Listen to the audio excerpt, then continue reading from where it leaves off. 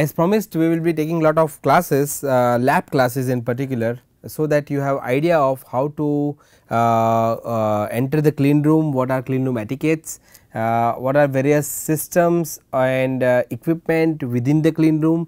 Additionally, we will also show you lot of interfacing modules. Uh, what does it mean that when you have a sensor or actuator what kind of signal conditioning circuit you can use it so as to finally you know actuate a signal or sensing a signal. So, uh, several lab classes would be taken. Uh, uh, let me start with first lab class and first lab class uh, we will be showing it to you uh, what are the clean room protocols and what are the gowning procedures. So, uh, Alakya uh, who is a teaching assistant uh, in my lab she will be uh, showing it to you the the way you need to the protocols that you need to follow when you have to work in a clean room environment. so, also when you enter clean room right uh, what kind of gowning uh, protocols you need to follow. What does it mean that you cannot just go in the way uh, just like wearing a shirt and in the clean room you need to wear a gown.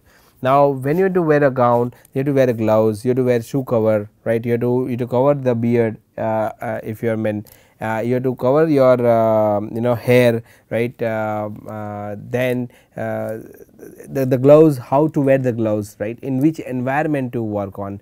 Gowning there are two types of gowning. Now one we will show is a class 10000 environment and second we will be showing is a class 1000 environment. But we will stick to class 10000 for the first lab class and uh, and and I'll, I'll request now to Alakia to uh, take the lab class uh, and then if you have any questions you just ask me uh, after the after this particular lecture uh, through NPTEL forum.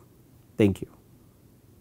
Hello everyone, welcome to the course on sensors and actuators. Today let us see how we follow a gowning procedure while we work in a clean room like this. I am sure you are all inquisitive about the course, what goes into the entire module. So, we will be studying about how to fabricate MEMS based biosensors how to characterize these sensors, the entire fabrication procedure will be taught to you by Professor Hardik and once you get a hands on or just uh, know as to the process flow about fabricating the device, then you know how to characterize them and how it goes into and uh, it goes into a system where there is electronic modules which will be integrated onto the sensors and then the entire system can be characterized, tested and used for the application. So, even before we get into the details about how the micro engineered uh, devices uh, or MEMS based sensors are fabricated, let us see where are they actually fabricated and where are they tested. So, conventional clean rooms are classified based on ISO standards. So, there is class 1, class 10, class 100, class 1000, class 10,000 clean, clean room and it goes on. So, the classification what talks about the classification is the number of particles, the count of particles present per cubic meter is what counts in a clean room. So, when we what we have here in the facility in DESE, the Department of Electronic Systems Engineering in IISc Bangalore is we have a class 10,000 clean room.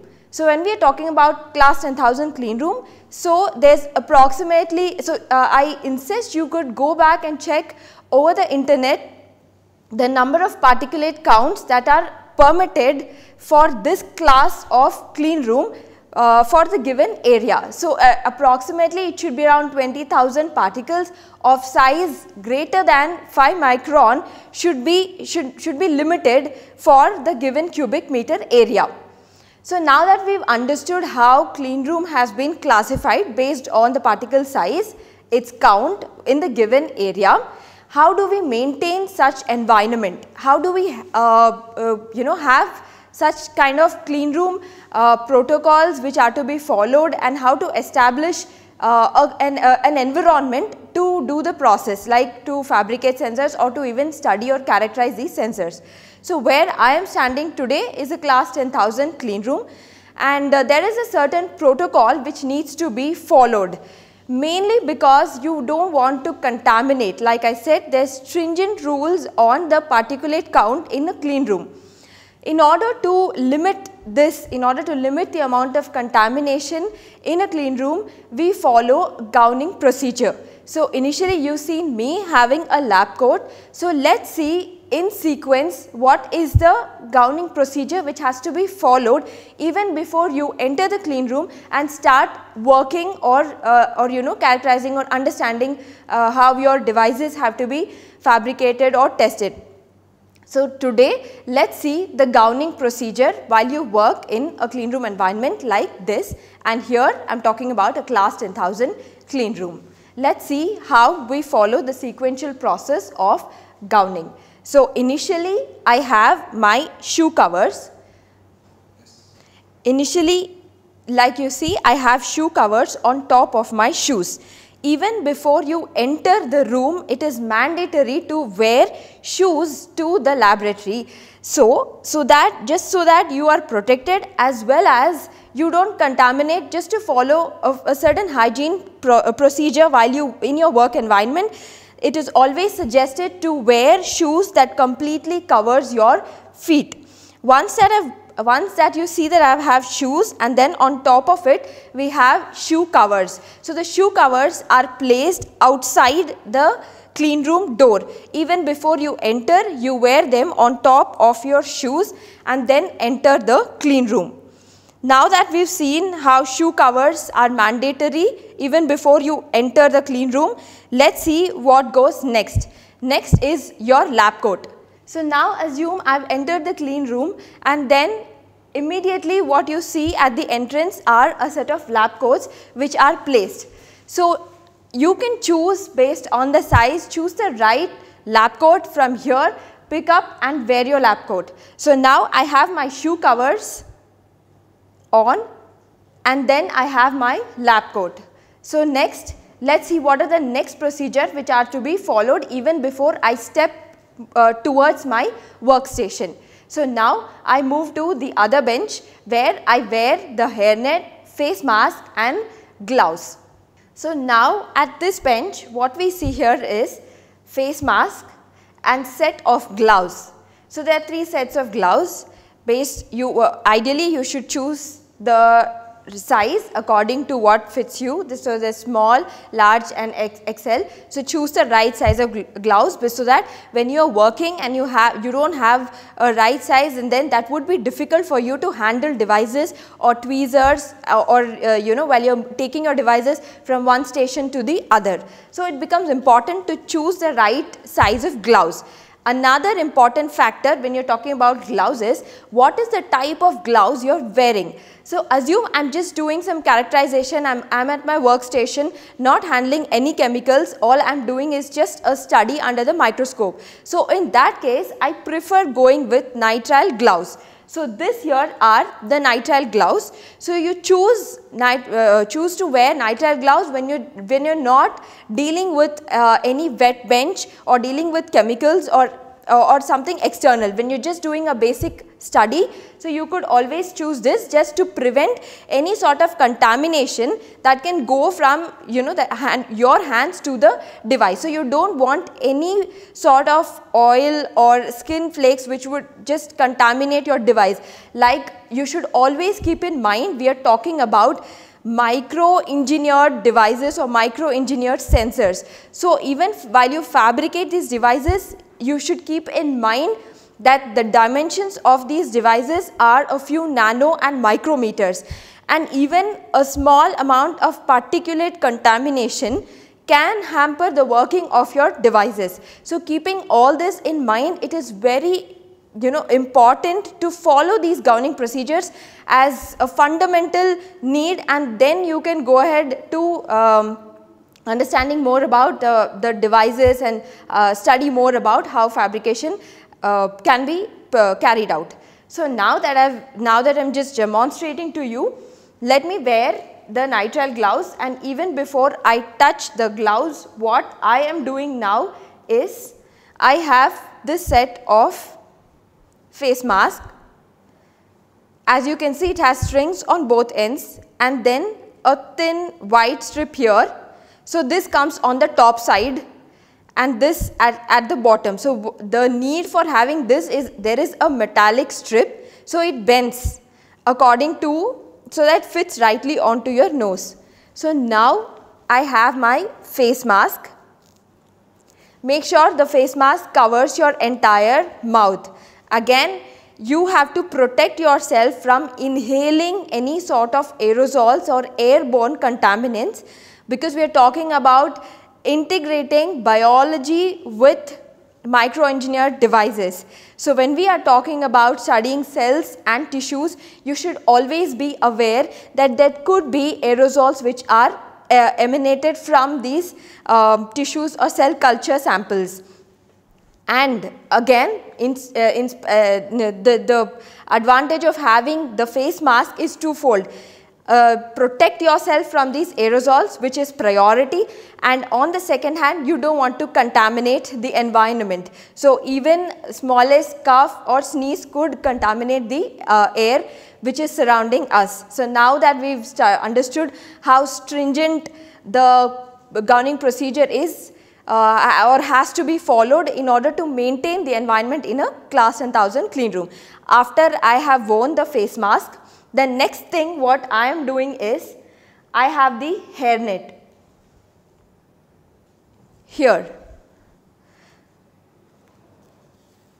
Like you can see if you have a long hair always ensure you put it up and then you don't want any sort of dangling uh, earrings or makeup none of that sort should be allowed because even that the, the could contaminate the environment. So now that I have tied my hair, I have the hairnet which goes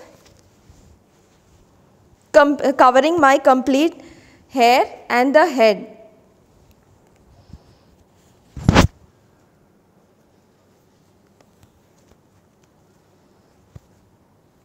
So now that you've seen, I have a face mask and a hairnet. What I would do next is use the gloves. So now what happens is, what if I just use the, picked up the gloves and then wear my face mask? So what happens is the gloves while you touch your skin or hair there could be contamination, there could be oil or sweat which could contaminate your gloves and then when you are handling your devices with the same contaminated gloves that could hamper your uh, the, the characterization or the working of your device. So finally what I do is wear the gloves after wearing my face mask and hairnet.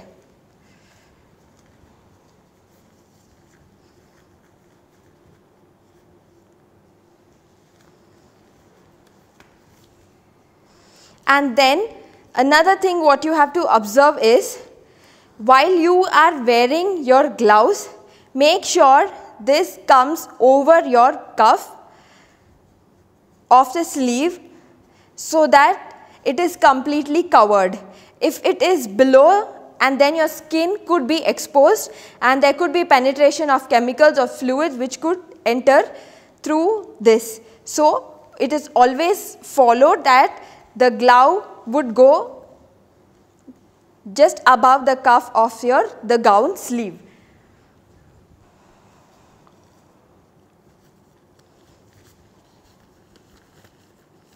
And this what I am wearing now is a simple nitrile glove. Like I mentioned, if you are working on wet bench and you're, uh, and you're doing some sort of wet bench activity, so you'll understand more about what wet bench is and what is it used for. You would understand that you would be using chemicals like HF which is the most uh, uh, dangerous chemical the man has ever known and it could it could penetrate as through your skin and even into the bone. So wet bench is that uh, you, you need to follow gowning procedure very stringently while you work in wet bench and then the type of gloves what you choose in wet bench is you wear the thick silicone or the MAPA gloves. So again there is a different set of classification for the type of gloves which has to be followed depending on your workstation. So, understand what is the type of work what you would be doing and what is the type of uh, uh, the type of you know the gloves or the equipment which you have to wear which would suit your work environment. Now that I have my gloves and the remaining thing, assume I would be working with light source which has high intensity. So, assume there there's laser source and I'd be working uh, using that to do some sort of characterization. When you're, it is uh, again it is important to understand that when high intensity light falls, it could harm your skin or it could even um, damage your retina or your eyesight. Another important um, thing which has to be followed while you gown in clean room is wearing your uh, the glass, the glasses. So, it is there on the other end of this bench. So, let me go there and show you how those glasses have to be used in case you are dealing with uh, high intensity lights or wavelengths of lights which could affect uh, your eyesight.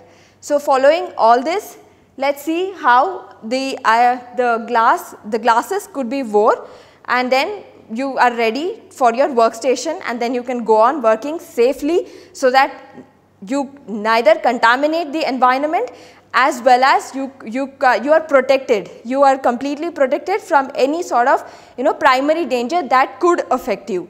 So, now let us see the glassware which is on the other end. So, here at this end are the glasswares which are just to protect your eyes while you are doing your while you are in your workstation. So, this is one such eye gear and then you can see there is another eye gear here.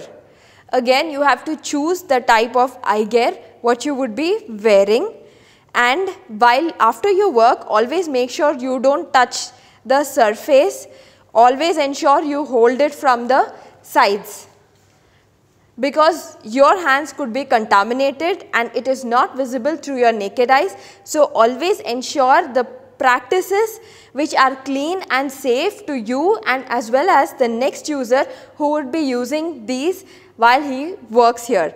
So, now when you are just doing with high intensity lights, you want to protect your eyes from all of that, you could use these type of glasses and then when you are working at wet bench, then maybe you do not want any sort of uh, liquid which just flies and then it could sputter and then fall onto your eyes. In order to protect it completely from all sides, you have an eye gear something like this. So, make sure you have it properly fixed onto your eyes in case you have specs or you are using um, assistance then you, you could always wear your specs on top and then use these gears on top of your specs so that your vision is not hampered. So, this was the entire gowning procedure which has to be followed in a proper sequence even before we go into fabricating our devices. Now, just to get a clear picture in short let us see how this how uh, uh, we follow this entire procedure from the beginning again in a very quick note. Thank you.